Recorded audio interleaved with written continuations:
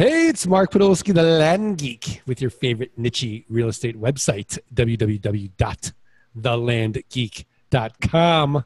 And on today's Art of Passive Income podcast, we're going to get super geeky. But before we get super geeky, let's talk to the Six Sigma land geek himself, Scott Todd from scotttodd.net, landmodo.com. And look, if you're not automating your Craigslist postings at postingdomination.com forward slash the land geek, you're working way too hard. Not working smart, you're working hard. Automate it. Scott Todd, how are you? Mark, I'm great. How are you? I'm great. Um, I'm great. I, am excited. I'm I'm we're, we're we're taking this podcast to like the geekiest level I think it's ever been. Yeah, let, us just kind of let's just kind of like let them know how geeky this could be. Okay, if you don't know what Ruby on Rails is or JavaScript, yeah. um, then you can probably, you know, no, I'm just kidding. You, we're we're we're not going to go technical. We're not going to get into. But if you're a coder or a dev, you're going to love our guest. And I think yeah, and I think that really anybody anybody that has a vision, anybody that has a dream, I think will love love today's guest. But I got to know, like in this podcast, am I going to learn how to create a Hello World app in like Ruby on Rails or something? I, I don't know. yeah, I mean, I think I think this is about taking a, you know, what we're going to find out. I mean, but I I I, I think this is going to be a really interesting podcast. And before we we talk to our guest Chuck Wood from devchat.tv. Um, Scott, you got anything you want to plug away? Postingdomination.com forward slash the land geek.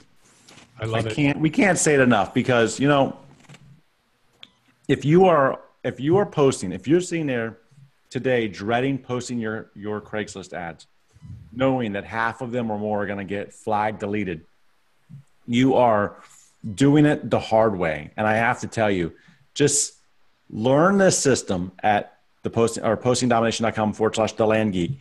Learn the system, execute on it, and then kick your feet up and listen to, you know, this podcast even further. Yeah. And speaking of kicking your feet up, if you are manually logging in your payments on your notes, I don't know why you're doing that. And if you're paying too much at another provider, like 2%, plus a dollar, plus a monthly fee, plus other fees for ACH, and you can't even take credit cards, go to loangeek.io and start getting paid the automated, easy way. Today's podcast sponsored by Loan Geek. All right, let's talk to devchat.tv founder and creator Chuck Wood. Chuck, how are you? Doing great. How are you? I'm doing great. I'm doing great. Um, let's let's kind of get into your superhero story, Chuck. superhero. I don't know about that. Um, how, you you're you're a developer, right? Yep. tell, tell us exactly what you're developing, what you're doing before you became the um, the big dev chat, you know, guy that you are today. So uh, I started programming when I was in junior high, actually um, just fiddling around. I had a TI-85 calculator. Um, I thought all programming was was toys until I graduated with a computer engineering degree, which is focused more on the hardware end. Um, but my first job, I was doing tech support over the phone, uh, primarily on Windows for backup software, Mozy, and uh, they got uh, featured in the Wall Street Journal. And to make a long story short, they wouldn't spring for tech support software. So we built our own Ruby on Rails. And all of a sudden, it wasn't just toys anymore, and I got real serious. Uh, started listening to podcasts there and um, started a, a, couple of podcasts. I also had a screencast series uh, up until I got laid off from my third or fourth dev job um, in 2010. And uh, yeah, so in 2011, one of my friends um, I'd been podcasting for a few years at that point. Got on Twitter and said, "Hey, we we should have a panel discussion podcast for Ruby." And I've been thinking the same thing. So I jumped in. We put our heads together and we started a show called Ruby Rogues.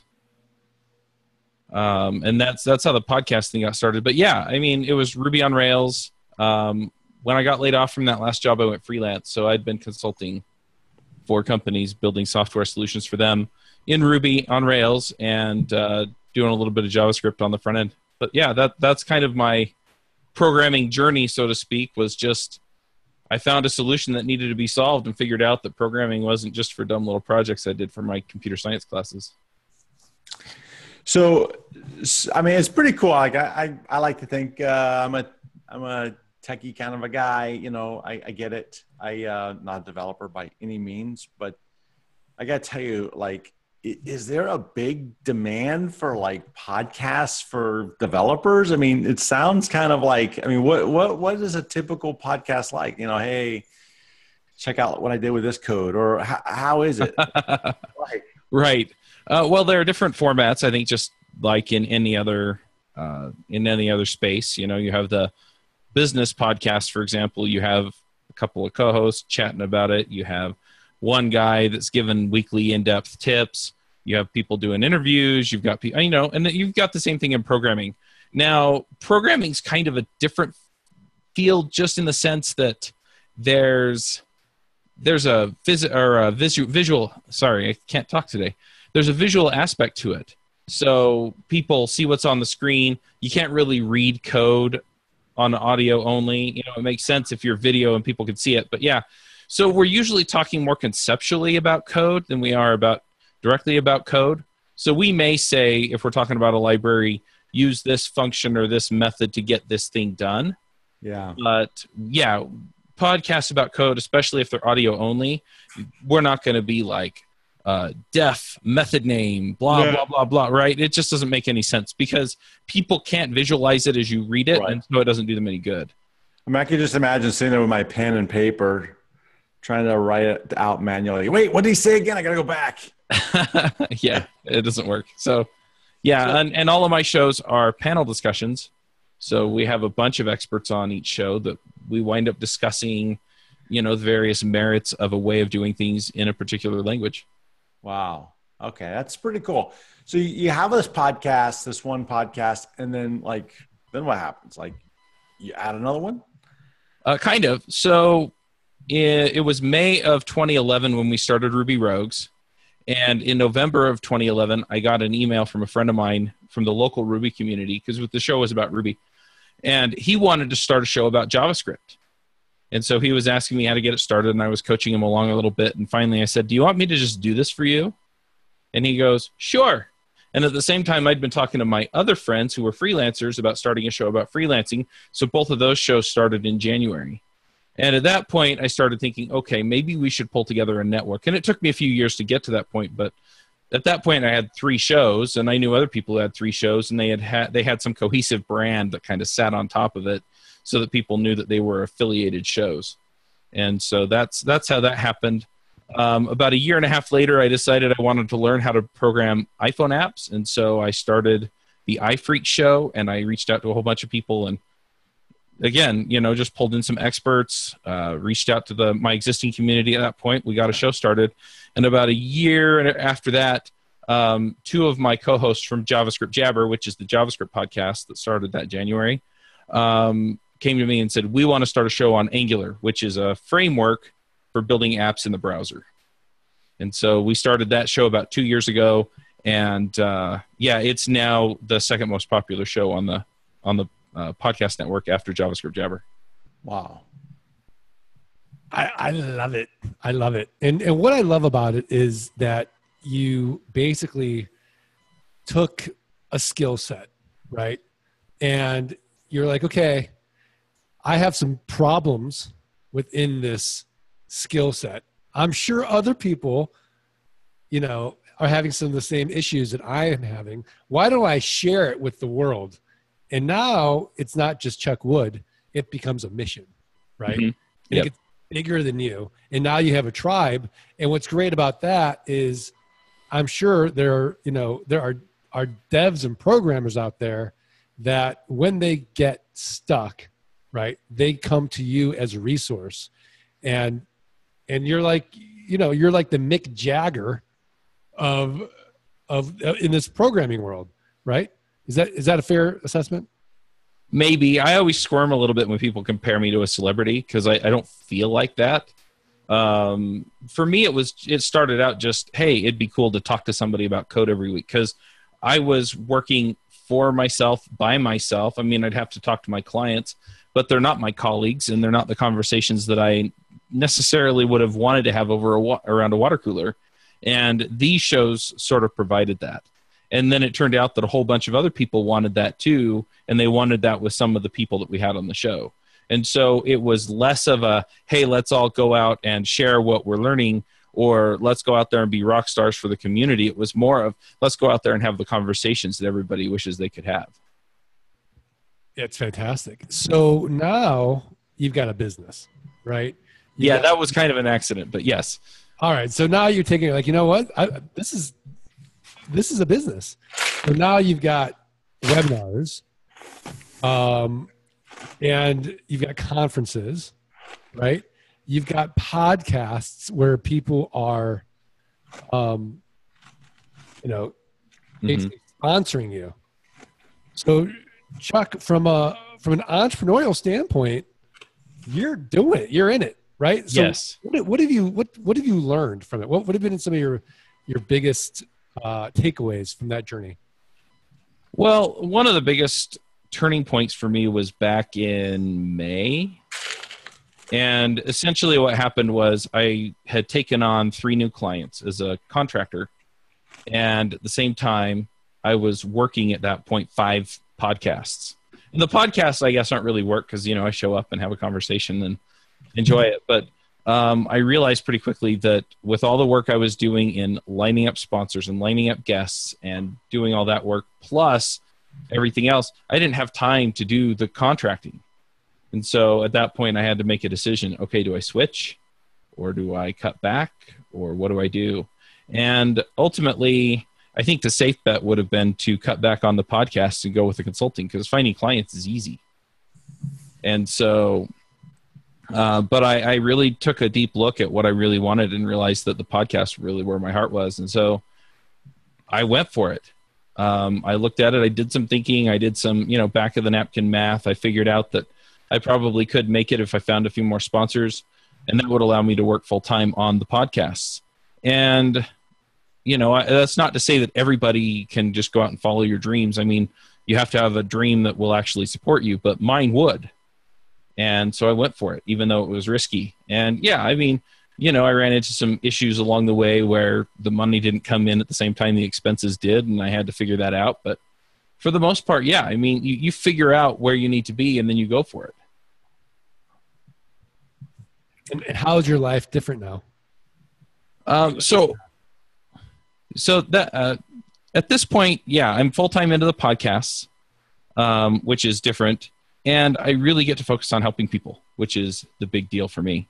Um, it's interesting we were talking about, you know, whether or not this is passive income, and to some degree, it is just from the sense that I can put the podcast together, record the podcast, and the sponsors keep paying. I have a few sponsors that will keep paying me anyway um, you know, and then it's just lining up the rest of those. But the other thing is, is that, um, you know, and and this is another lesson I learned was that if you can really figure out what your offering is worth, then you can make that difference up. So this year I made twice as much as I made last year, or the business grossed twice as much as it did last year.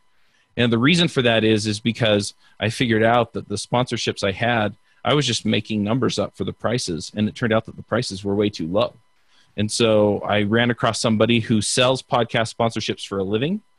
We had a long talk. I re I re uh, jiggered everything according to my download numbers, and yeah, so now I have a pool of pot of um, of podcast sponsors that I go to, and whenever I have a spot open up, I just ask, and that's that's all I have to do to line that up.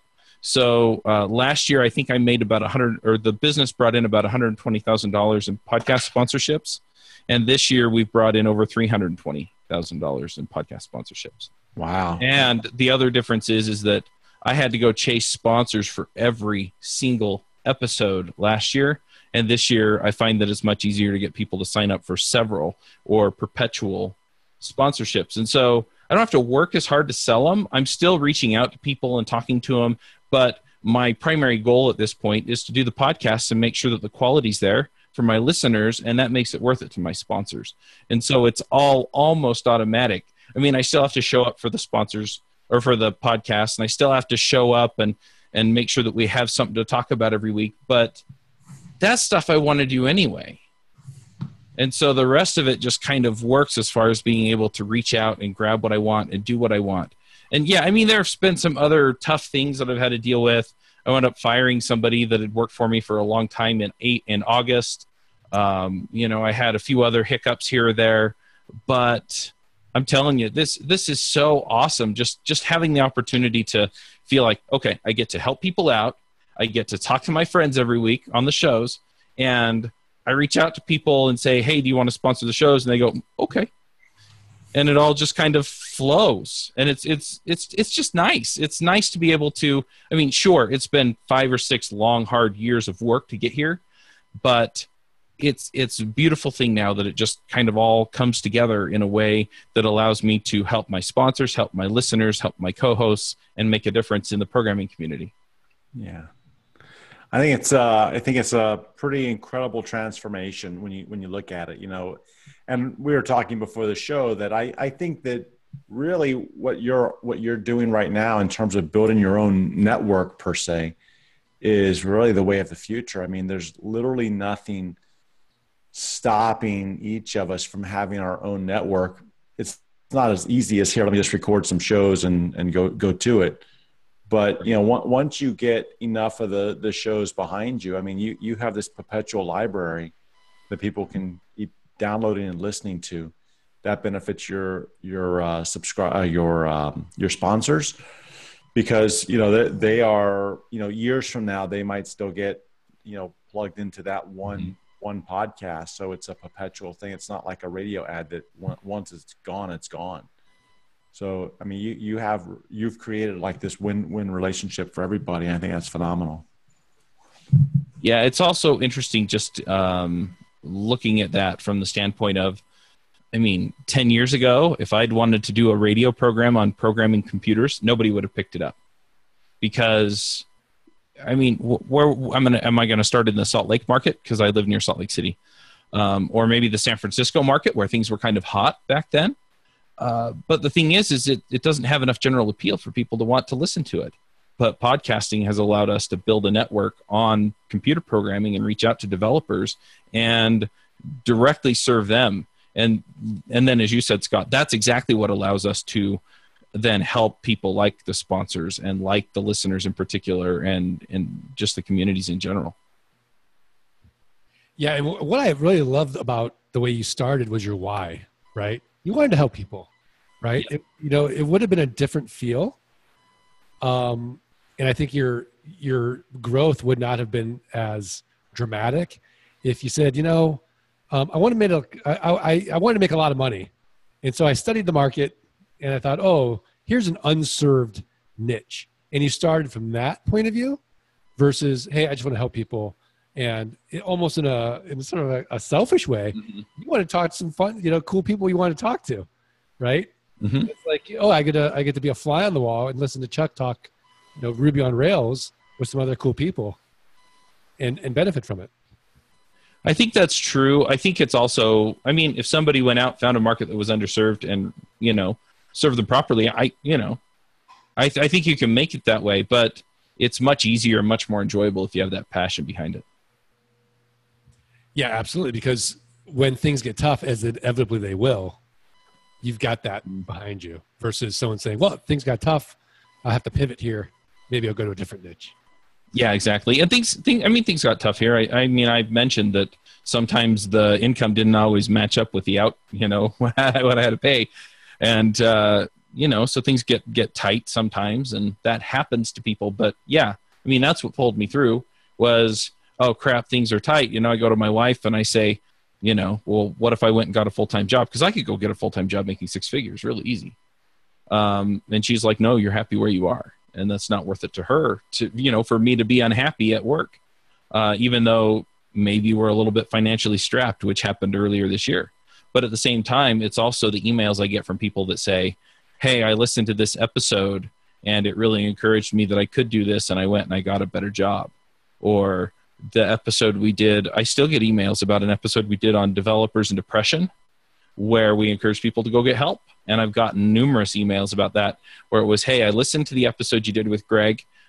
I hadn't really identified that I had a problem, but I went and got help, and now my relationship with my wife and my kids are better."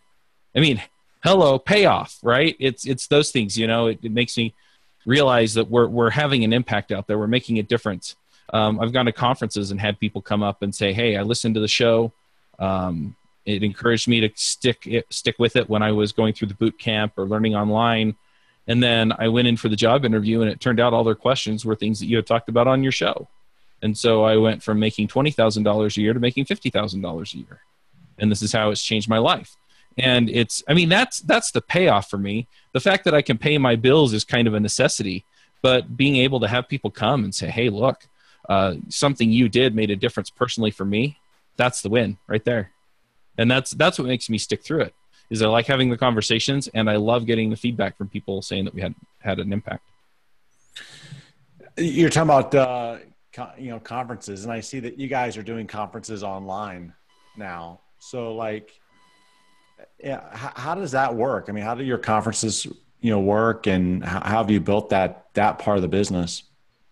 So um, a couple of guys that i know run podcast movement which is a podcasting conference. And they decided one year that they were going to do an online conference. Um, i think it was like two talks uh, three nights a week for two weeks. And so i just copied their format because i was like this is cool. And programmers all over the world can come so I did one on JavaScript and it was a success. And then I put on a couple more that year and they worked out. So the next year I put on a few more. Um, the JavaScript one was a rousing success the next year, which was last year. And then uh, the Angular conference last year was also a huge success. And so just financially, as well as, you know, just having a lot of attendees really enjoyed it. So um, yeah, so essentially the way that they work is people buy a ticket and then they get the link to join the the live stream, and then our speakers all over the world from wherever they are, they get on. Um, right now, we're using WebinarJam and uh, Google Hangouts, YouTube Live. Um, so they just join from wherever they are. We get the talk started. Uh, they give their talk. People join the chat channel, and uh, we have so we've just had community slacks for those, and uh, it works out really nicely for people to be able to connect with each other, to get content um, about whatever their chosen area of development is. And the thing that's nice about it too is that I've had a few people say, um, you know, I have a child or a spouse that has some kind of health or other problem that makes it so that I can't travel. And so I can't go to regular conferences, but I can come to yours, you know, because they can just sit in front of their desk. Um, I've had companies pay for it as just sort of online training. Um, and so there, there are a lot of benefits to that where they don't have to pay for airline tickets and have to pay for the hotel. They don't have to figure out how to get their people to and from the conference venue or any of that stuff. They just get to show up, and the speakers like it too because they can show up, they can give their talk, they can sit through the other talks if they want. But if they don't want to, they're just done. And uh, so there's a big payoff. Uh, the things that I'm changing this next year because I've, I've uh, reached out to past attendees and speakers for feedback. The talks are going to go from an hour long each to about a half hour long each. I'll have some 45 minute slots in there, but most of them will be half hour. Um, I'm going to go to two days instead of three days, so it'll be a little longer during those two days. But then the other thing is, is I'm going to do some um, out of band or not during the regular conference schedule events, where we just have a couple of Google Hangouts where people come on, we just chat about technology or work or whatever, and just kind of have a water cooler chat for an hour. Um, you know, so everybody can bring whatever they're having for dinner, and we'll have dinner together. Or uh, everybody can bring a mug of coffee, and we have coffee together, or whatever.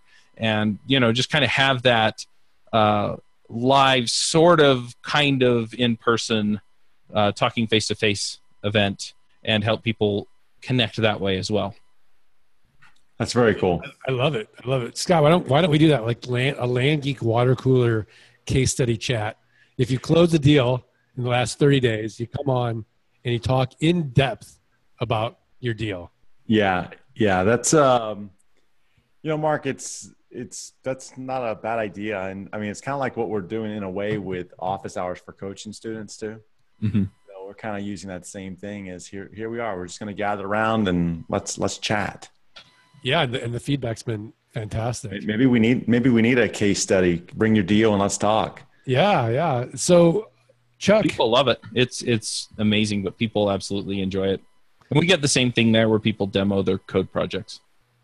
very cool, very cool. So we're at that point now, Chuck. We're going to put you on the spot, Uh oh. What I to ask you for your tip of the week. My tip of the week. All right. So there's this book, and it's called Procrastinate on Purpose by Rory Vaden. You've probably heard of it. You're nodding like you've heard of it. Okay. So th- it's this terrific book. And essentially, what this changed for me was that I would just kind of shove everything over to my virtual assistant. And I started to realize, you know what? There's more stuff I'm shoving her way than she can actually do.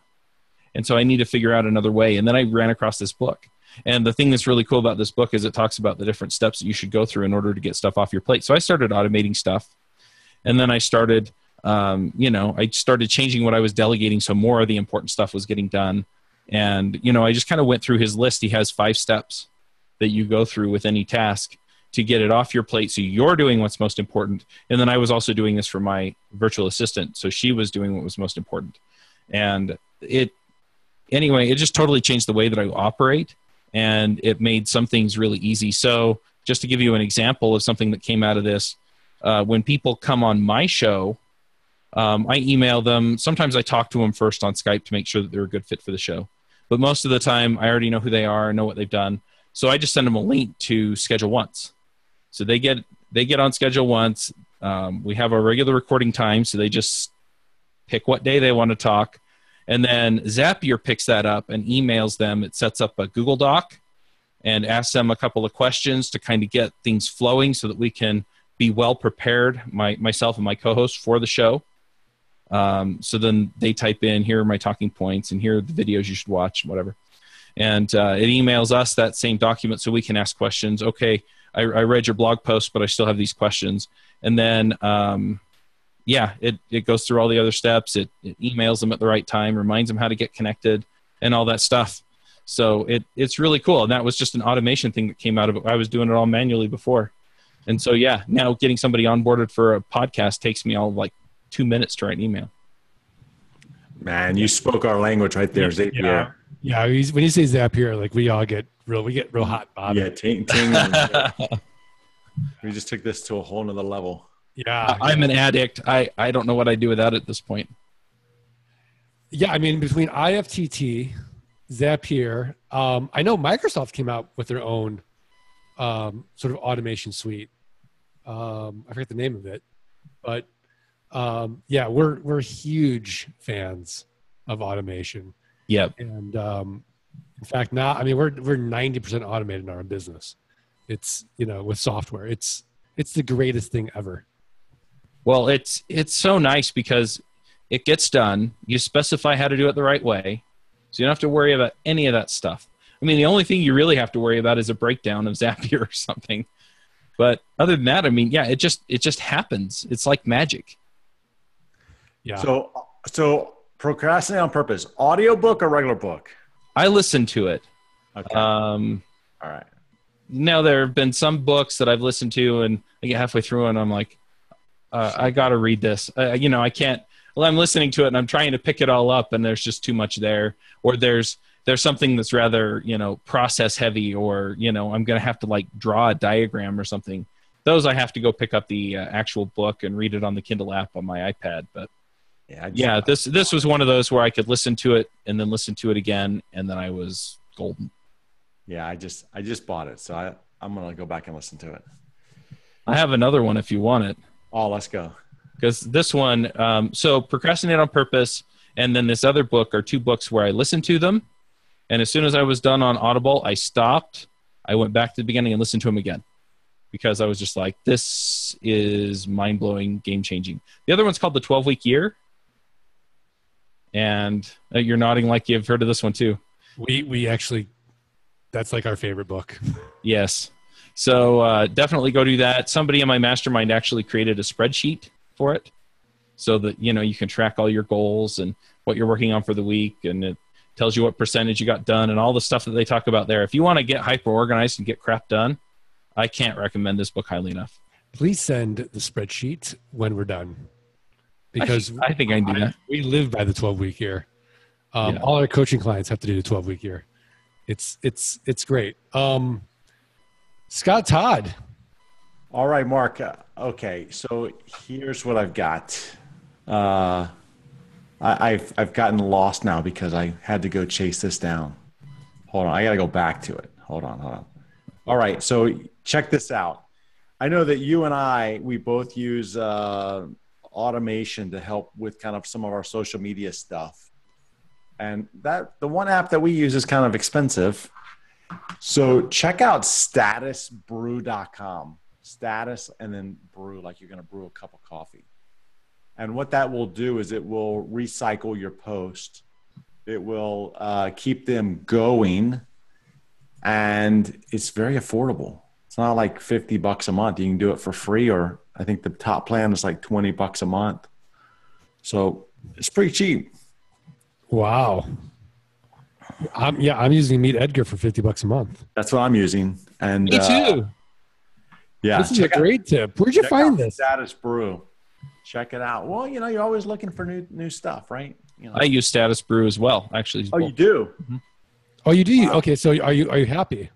Yeah. So the thing I use Status Brew for is I have a virtual assistant that goes in and uh, does a search for whatever conference is coming up. So it'd be JavaScript right now, and um, he just goes in and there's kind of a click to follow. It gives you a list of people to follow. I think that's in there. I know I get a bill from every month, and I'm using the Voyager plan. But anyway, yeah. So he follows them, and then I get followed back. And then what happens is I have an automatic tweet set up to go or DM set up to go out to them and it direct messages them and says, Hey, are you a listener to the show? And have you checked out the latest conference? And I get responses back all the time. Yes, I love Ruby Rogues, or I love JavaScript Jabber, or I love Adventures in Angular, or I love the Freelancer Show, or whatever. And then I get to have these conversations with the people that my virtual assistant is finding for me on Twitter and I get to find out what they like, and I get to find out what their favorite episodes were, and what they wish we'd do better, and what we- you know what they like, and it's it's really awesome. That's genius. Genius. Genius. Well, I I love it. I love it. So my tip of the week is, you know, if you are a dev, right, and we have a lot of you, um, or a programmer, you know, check out Chuck's whole community at devchat.tv, devchat.tv. And for those of you that aren't devs, um, I have another little tip. It's called Clearbit. Clearbit. It is a actually a Gmail um, extension, and it's free. And what it does is it gives you the background information, like Rapportive, right, but free, of of the person that you know you might be emailing with.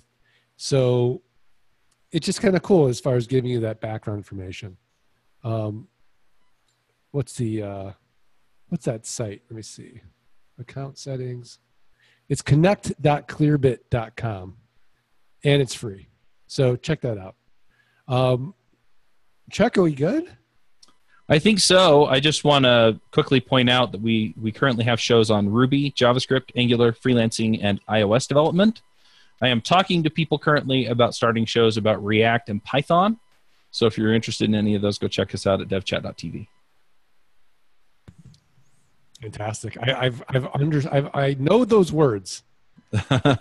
And Right. when you say It- Python, I assume you're not talking about the snake. Nope. Right. You know, in the same way that I know the word Mandarin, but I couldn't speak it. Yeah. Yeah, Yeah. but very very cool. So Chuck, thanks so much. Uh, Scott Todd, Mark, this has been really interesting. I I've had a good time. yeah, yeah. So um, this is great. I do want to remind the listeners the only way, the only way we're going to get the quality of guests like a Chuck Wood from devchat.tv is if you do us a favor, is you subscribe, you uh, rate, and you review the podcast. And if you do so, we're going to give you a gift, uh, the passive income launch kit for free. So please do that. And look, Scott Todd needs some love. Go to landmodo.com forward slash wholesale. Check out how to automate your Craigslist postings at postingdomination.com forward slash the land geek. And don't forget about me. Go to the landgeek.com, download for free the passive income blueprint, and get the ebook, How to Avoid the Three Fatal Land Buying Mistakes. And of course, get this always informative and engaging podcast delivered each week to your email inbox.